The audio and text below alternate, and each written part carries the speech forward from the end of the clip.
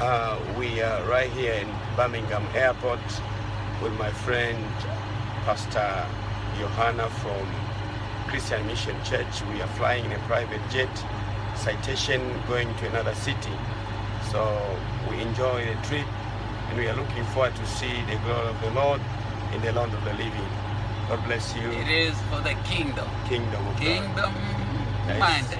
Kingdom eh? agendas. Yeah, it's a nice private jet citation, very modern, you can see.